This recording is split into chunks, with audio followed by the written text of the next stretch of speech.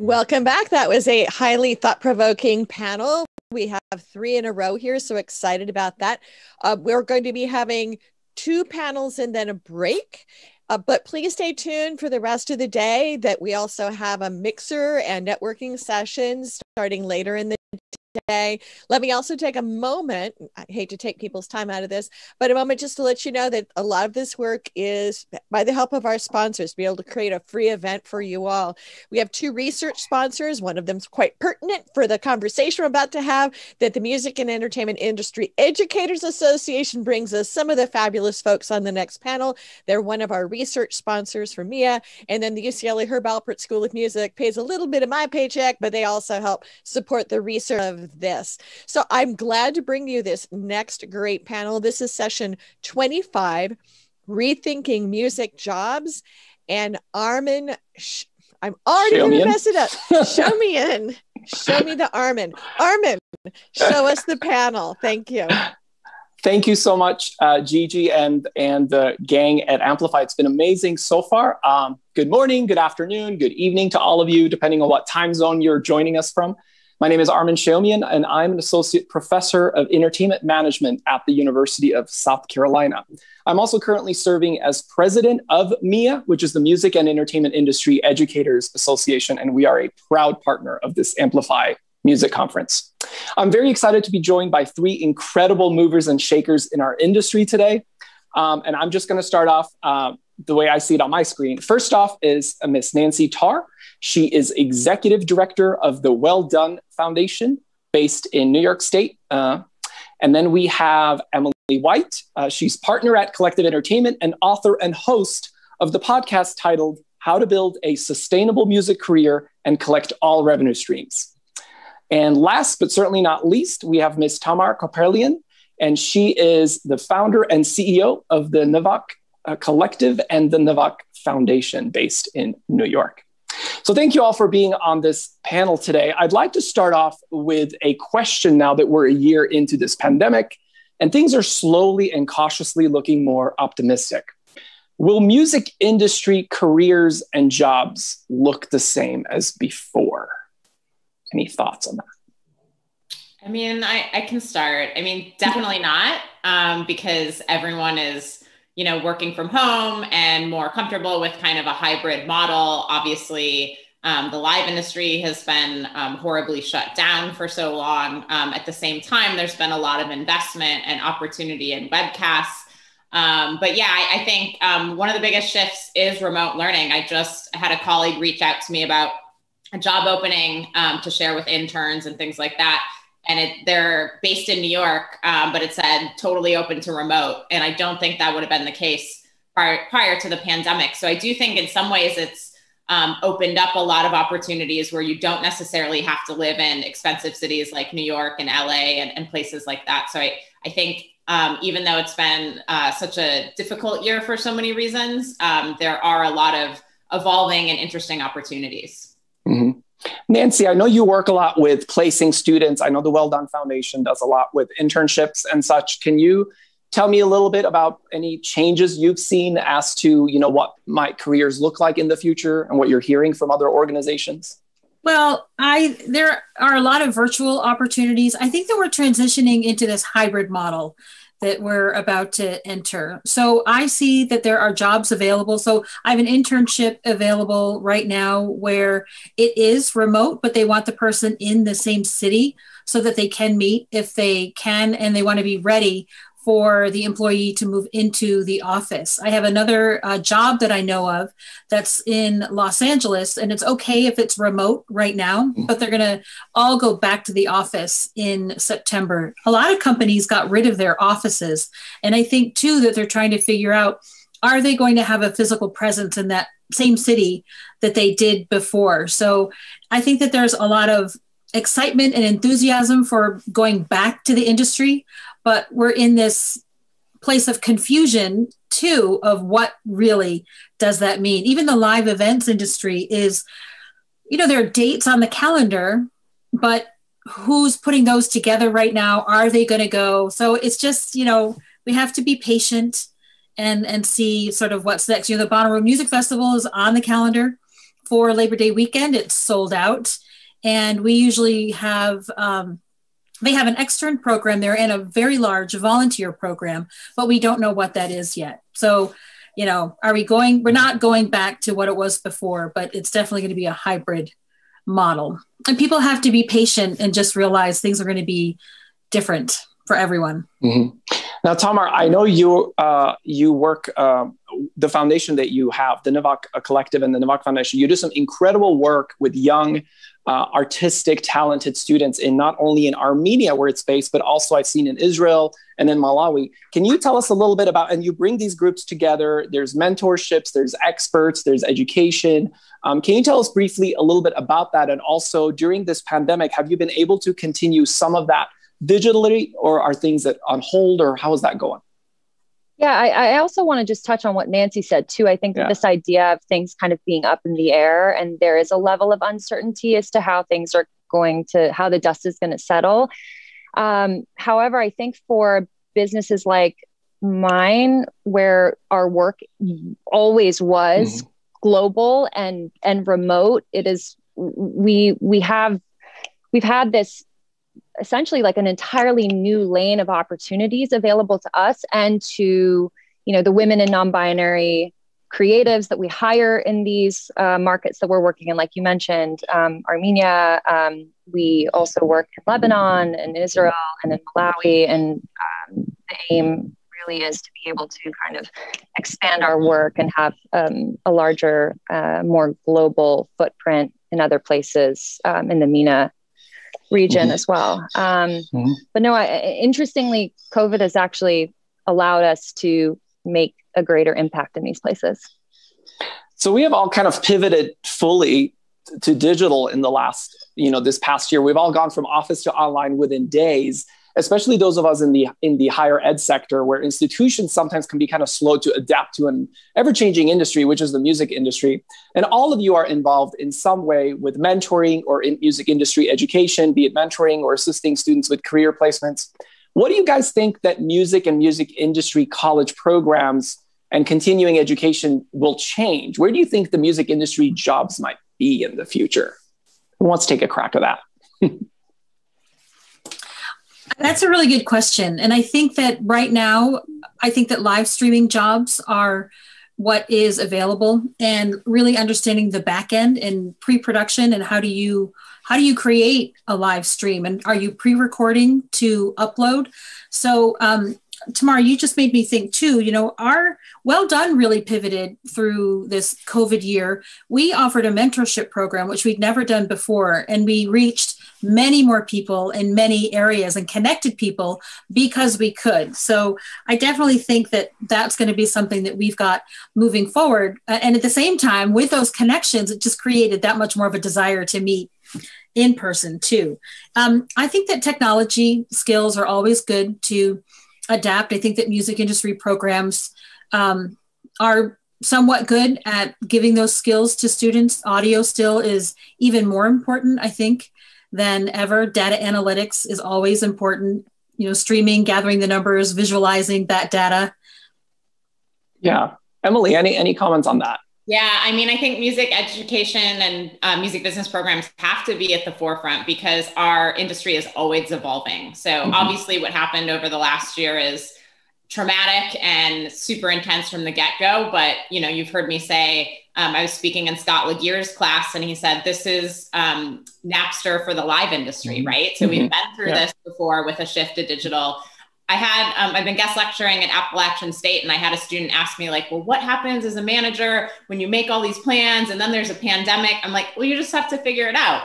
Yeah. And you guys know we uh, at our um, iVoted initiative, we were in venues for the 2018 election, but then we pivoted to produce the largest digital webcast. Uh, or sorry, the largest digital concert in history on election night, and it actually just completely um, broadened our reach. Uh, we had over 450 artists. That wouldn't have happened um, if we were in person. And also, we were able to engage tons of all of your students. We had mm-hmm. over 200 volunteers.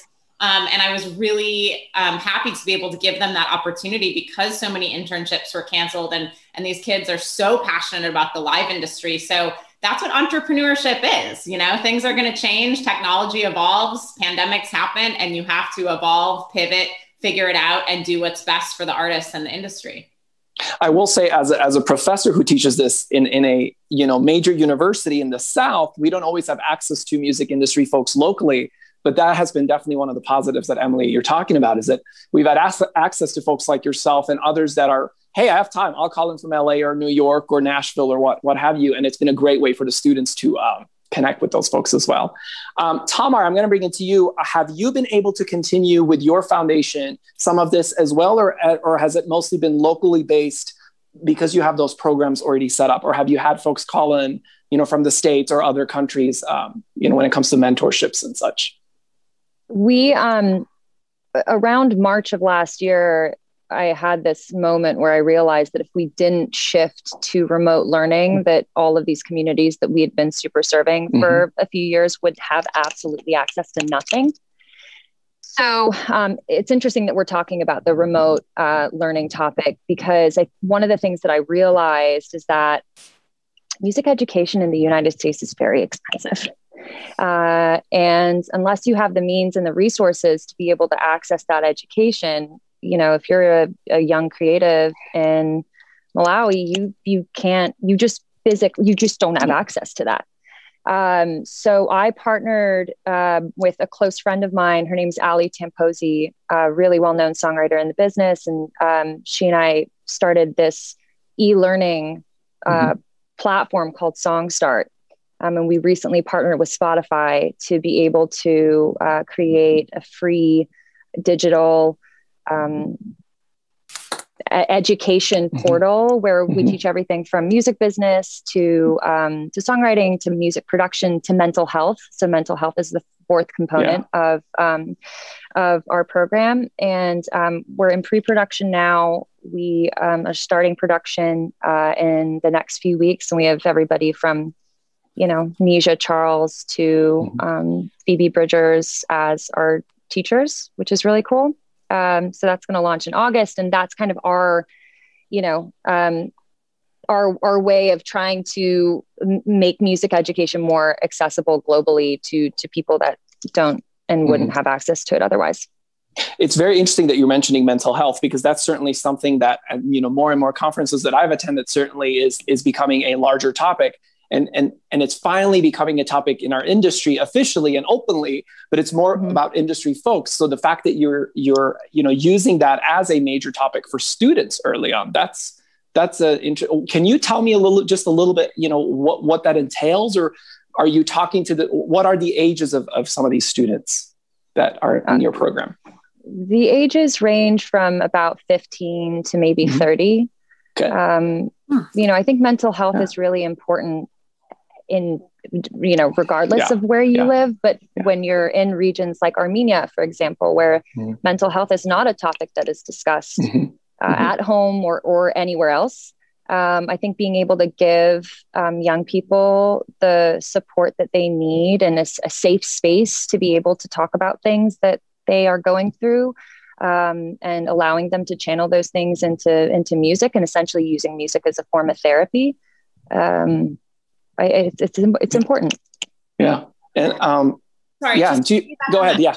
This conference is a great example, right? Like, think of how expensive in-person music business conferences are. Absolutely. Now, Amplify is free, you know, and you have access to speakers all over the world. So um, that's another opportunity that's really opened up. And I, because we are more comfortable with webcasting and things like that, I hope that conferences do that so people who can't afford to get to South by Southwest or whatever can still get the information. And I'm just going to plug the mm-hmm. organization that I'm running as an educator, the MEIEA Summit, M E I E A Summit.org. We have ours uh, coming up as well, where Amplify is a partner in about a month. So feel free to check out the website. And we're also one of the um, uh, sponsor booths uh, online virtually. So, how about uh, are there any tips or ideas as to additional knowledge that those that are newly entering into this industry of workforce may need to stay competitive. I mean, Emily, to your point, there's there's a plethora of conferences, and, and all of a sudden, just so much information online. It's easy to network. It's easy to find folks. Um, are there additional ideas that you would have for maybe those that are watching now that are either students or trying to enter the workforce after this or during this pandemic, where you know, to try to stay competitive? Yeah, I mean, a lot of it is is really similar to before, right? Mm-hmm. Because mm-hmm. as a manager and entrepreneur, like I'm, I, tra- I used to travel all the time. I could be in Japan or whatever. Yeah. So, um, as you know, I have a book, Interning 101. A lot of those basics still apply, right? Like mm-hmm. um, being good at writing emails, reading, you know, everything that's going on in the Slack team. Um, and again, like the entire industry is going to become hybrid. Like I feel that live shows you know, obviously are going to return, but then we can have a sold out show and webcast it um, to that many more people. I mean, I don't know why Scott Laguerre is on my brain this morning, but I believe program is about three hours away from Minneapolis. Yeah. So he's yeah. also told me that his students can't always get to live shows. So we can access that many more fans, which is awesome. Um, and also, we, you know, there's stay at home parents that have been able to check out shows. There's people with disabilities. So I feel like we can um, reach that many more people. So to answer your question, um, like Nancy said, um, mm-hmm. the more technical skills you can le- uh, learn, um, the more audio skills you can learn. Coding is always super important. Um, but yeah, I mean, we already lived in kind of an online world. We've just shifted even more in that direction. So a lot of the same skills from um, before actually still apply now. Absolutely. And yeah, Nancy, go ahead. Well, I was just going to say, you know, I've worked remotely almost all of my career. So part of it, I'm at home and then you go to the place where the thing is. So I want to address that other question you asked about skills. So skills that we want music business students to know in the program. And I think that this is also something that's important for uh, students coming up. And it really relates, it goes back to mental health mm-hmm. too, is this mindset and sort of what Emily said, you know, this industry is constantly changing. So you you will always have to learn new skills but you have to have this mindset of being flexible and i i somebody put that in the chat too so flexibility resilience uh, resourceful.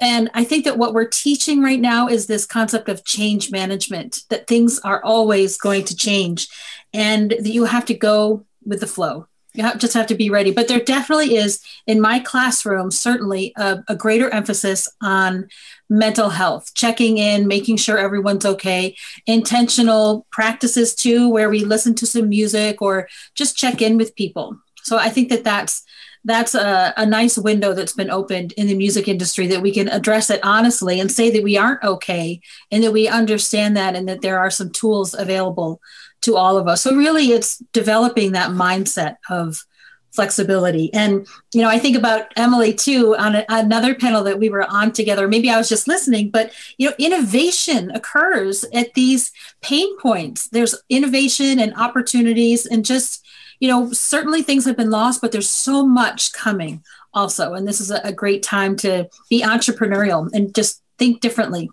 Well, and just Absolutely. to add to that, I can, uh, we all know a million people in the industry. I can think of one colleague that has had been at the same company for her entire, you know, 30, 40 year career. So pandemic or not, you know, things are always shifting, always changing. You know, you have to educate yourself, but yeah, I mean, it, it starts with the ba- basics, like making great art, understanding mm-hmm. recording, mm-hmm. understanding basic internet marketing. I mean, I, I just found out that my podcast is the number one music business podcast in America. That is free. You know what I mean? And also, like, I made that on the couch or whatever. So still have all these great tools and access mm-hmm. to resources and information that we can then take in and um, apply to ourselves as artists or people who help artists. Absolutely. Um, Armen, I, I yes. Ooh, sorry. No, no, no, I was. I, um, I think I think the flexibility point is a really is a really good one that you made, Nancy. I I would also say that you just need to hustle in this business. Mm. That is the hustler, and and we have this phrase at Nvak where we say gentle hustle because there's also hustling that is um, that's like that can be overbearing at times, but you just you know you, you you can go to school and you can be in school for the longest time and you can learn all the things and you can do all that stuff. So much i think of the music business though is also like being on the ground being you know going out and meeting people. Mm-hmm. you know if there's somebody that you admire on on whoever it is it could be it could be like a, a, a producer. Find them on instagram and hit them up. Send them an email. You can find people's emails on linkedin. Like just you know go out and do it and be persistent like sometimes you won't hear back on the first or second try and you just have to kind of keep um, you know, keep doing it. And then eventually, you know, someone will respond mm-hmm. and then that'll kind of open your network. We have a motto yeah, too. Yeah. Oh, sorry. Just read their bios first, please. Don't ask how they got their start in the industry because that information is out there. When you do get that opportunity, make sure you're asking questions that isn't information that you would have available to mm-hmm. you otherwise. Google is an amazing thing. Mm-hmm. And provide value. You know, if you're find a way to provide value to that person. So I was going to say too, I have a motto which is similar to the gentle hustle. It's patiently persistent. So you're absolutely right. And I really think education is going to change dramatically. You have kids who have been locked inside their houses online now for a year and, and some longer. And I do think that this will stretch out a little bit longer. Those kids aren't going to want to go to college. It's going to be completely different. Some mm-hmm. may and some may not. But Tamar, to your point, if you want to get into the music industry, make connections. And you don't necessarily need to be in a four year degree program to gain skills either. And I think that we are seeing this shift right now with high school programs develop, developing like yours and others, where kids are mature, they're digital natives, they get it, and they're ready to go. Also, just start doing it. You know, that's right. whether you're an mm-hmm. artist, industry person. You know, I meet students all the time. Like, where is their opportunity, or what can I do? I'm like, ask any right artist. They all need help one of the things I tell my students, absolutely, to everyone's point here, you got to do a little bit of research. Everybody runs to the large five companies and applies to these internships where they might get 20, 30,000 of them, you know, and it's very impersonal. I say just find the local publisher or a small mm-hmm. label and and you know one of the things I was very lucky is to have Michael Goldstone known as Goldie from Mom and Pop Records join my class the whole semester and mentored five or six of my students every other Tuesday this entire semester. Mm-hmm. I mean, mm-hmm. that's one on one on Zoom with five students about an hour and a half every other week. And that was an incredible experience that these students could have never had um, anywhere else. But thanks to, again, the pandemic, you have some folks that are like, you know what, I have a little bit of time. How can I reach out and do something outside of the city I'm in? Um, Tamar, I just wanted to bring it back to you uh, really quickly, since it's, you know, your organization really touches on, on folks from you know 15 up to 30 or so um, are you doing a lot of international collaboration or are they kind of locally based or have you done more now that you know covid has kind of brought onto this digital world of, of meetings all over yeah that's a great question armen we um, we do a little bit of both so okay. we want to make sure that um, we're doing really on the communal level, on the regional mm-hmm. level, then on the global level. Uh, so I'll give you an example. Um, one of our artists, Rosa from Vanadzor, Armenia. Vanadzor mm-hmm. is yeah. is is a smaller city in yep. uh, Armenia, and um, she's one of the most incredible songwriters, singers I've ever met in my life. And uh, she wrote this incredible song in Russian. Okay. And we recently connected her with uh, an America and Kiara is doing a feature on Rosa's song, and they just recorded a song. Kiara just cut her vocal a few days ago remotely, and they were FaceTiming, wow. and Rosa was teaching Kiara how to sing the chorus in Russian, and it was just such a cool moment. And it, honestly, this wouldn't have been available to us a year ago. And then Rosa's doing sessions with yeah. Ali Tamposi and Jenna Andrews yeah. and like all of these people in the business. Like none of this would have been a possibility, you know, mm-hmm. pre-COVID. Mm-hmm. Yeah, absolutely. Um, and I also really quickly, Emily, you had you briefly mentioned you're being very, you know, bashful, but you're interning 101, not only an Amazon bestseller, but students all over have been checking out this book, which came out at such a opportune time because COVID really flipped everything upside down. And so your book was a great resource, and it really is. And I tell my students um, about it. Can you tell us, Emily, just a couple highlights, or for those that are not familiar, um, just giving you a quick plug here? Sure, thank you. I mean, reminder that um, sometimes the best internships are never posted. Um, I yep. was just on someone's podcast yesterday, and um, they were asking me about my background, and I started interning for Amanda Palmer and the Dresden Dolls when I was in college. They played my school. I introduced myself to Amanda. I said, "Let me know if you ever need help with anything." She said, "Can you come over tomorrow?" And the Cliffs Notes version of that book is make yourself indispensable. Mm-hmm. Um, I would never say I was the third member of the Dresden Dolls, but certainly functioning with me was a lot easier than functioning without me. So much so that they built me into their management contract when I graduated college, and I've never used my resume since. So that's the shortest version I can give. Great. And we just have a couple of minutes. Nancy, are you seeing now a little more opportunities now that the big companies have pivoted to allowing for more digital since so many internships were canceled last year? Are you a little more hopeful for this summer and fall as far as internships go and remotely and in person?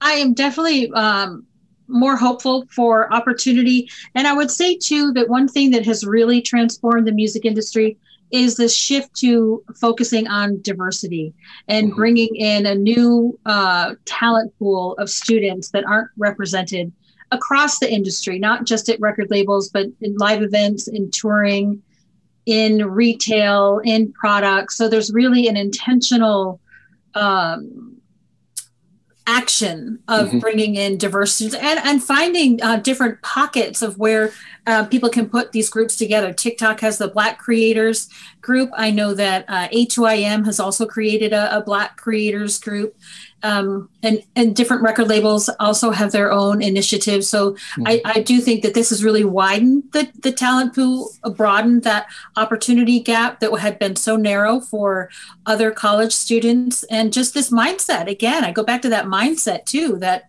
you know things are different; they're going to look different, and people are more welcoming to what is different also and that remote aspect too helps because it's so expensive to live in some of these major cities that uh, a, an employee can be working remotely where it's more affordable for them to live. I know we have to go, but I just want to point out what Well Dunn does. Uh, we fund entertainment industry internships for underserved students. So if you can't afford an unpaid internship, which mm-hmm. is most people, please check out Well Dunn, and it's D U N N, like like the last name. Absolutely. And the great thing with Amplify is that everyone's socials and bios, like Emily said, always check the bios. Everything is listed. So feel free to reach out to any of us. Ladies, it's been an incredible 30 minutes. We could go on for several hours. There's just so much to cover. So I really want to thank Tamar Kaprelian uh, from the Nvak Foundation. I want to thank Emily White from Collective Entertainment. And I also want to thank Nancy Tarr from Well Dunn Foundation. Thank you so much. And we'll hope to see you soon at another event. And thank you, Armen. Great job. Um, Thank you, and, sir. And, and as an educator, thanks to all of you for being such a great resource for our students. This concludes our Rethinking Music Jobs panel, and in a couple of minutes, we're going to switch to Rethinking Music Tourism. Thanks again. Thank you. Okay, we're off.